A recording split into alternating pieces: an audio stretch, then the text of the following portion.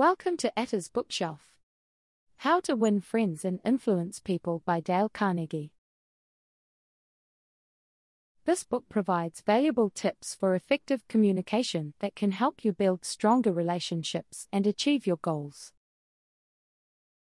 Part 1 Fundamental Techniques in Handling People Show genuine interest in others, praise their achievements, and avoid criticism and negativity. Use people's names listen actively, and acknowledge their perspectives. Part 2 Six Ways to Make People Like You Smile. Be a good listener, find common ground, and express sincere appreciation.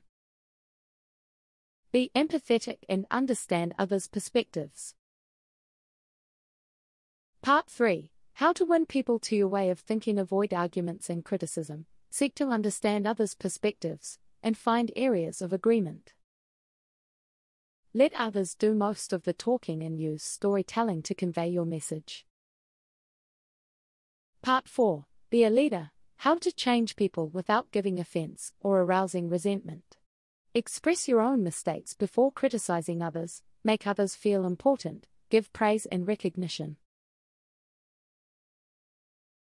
Allow others to save face and give them a way out of a situation.